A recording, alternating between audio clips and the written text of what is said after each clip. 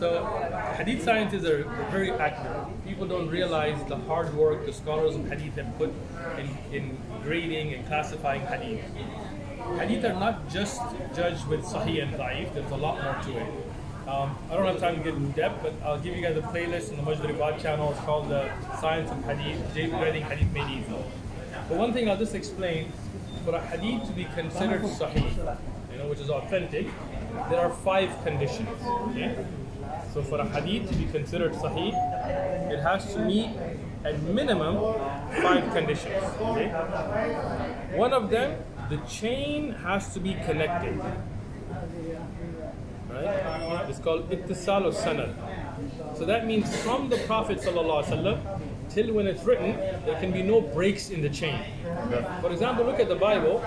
There is no chain connecting Jesus or the disciples to where the manuscripts were written. Not anonymous authors. But that would never be acceptable in hadith.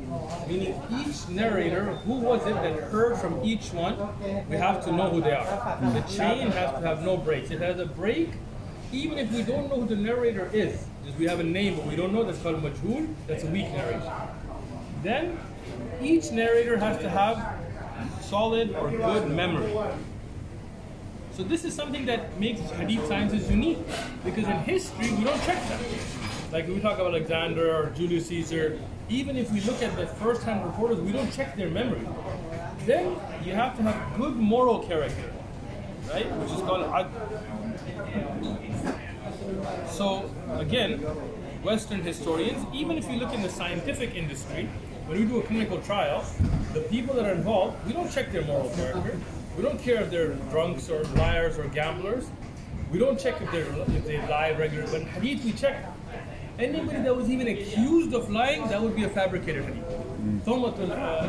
even an accusation would not make it matruk.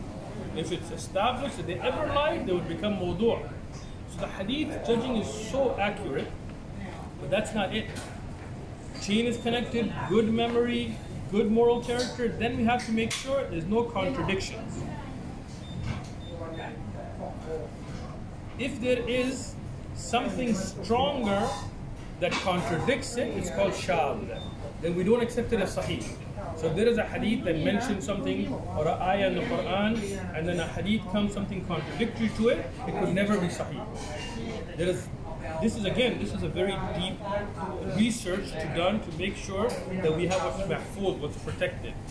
On top of that, on top of that, there can be no textual defects.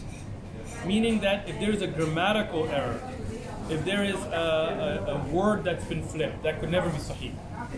So Imam Bukhari and Muslim they have even more, right? To reach mutawatir, that's even more difficult. But even the base Sahih Hadith has to go through these five conditions at minimum. So if there is ever a chain with a break, it could not be Sahih. Most history we have today doesn't have a connected chain. So that means even if you took most of the history you believe in, it would not reach the level of Sahih. Everybody has to have a good memory. Even they're very good people, but they made mistakes, they flipped words, maybe they had some uh, dementia at a time in their age, we cannot accept their hadith.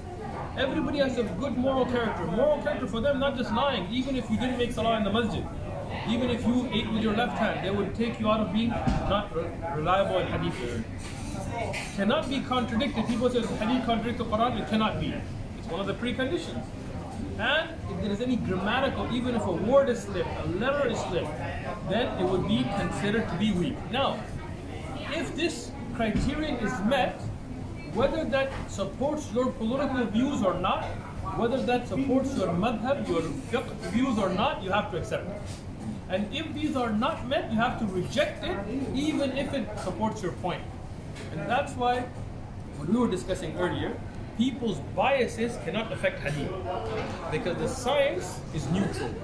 So if you look at the scholars of hadith, it doesn't matter what madhab they are. Imam Bukhari, for example, Abu Dawud being Hanbali, Ibn Hajar al-Dhahabi being Shafi'i, Tahawi being Hanafi, Ibn Abdul Barr being Maliki, never affected their hadith Their fiqh is different. Why? Because in hadith we have a science that does not allow biases to play a place. You will have hadith that are pro-Amawiya and pro-Abbasiyya in the same book. The Rafidah, they will take what they like, but not Ahlul Sunnah. have a criterion that goes through. Just a brief introduction, inshallah, to uh, a science that I love. Inshallah, you can follow up on more, inshallah. Barakallah.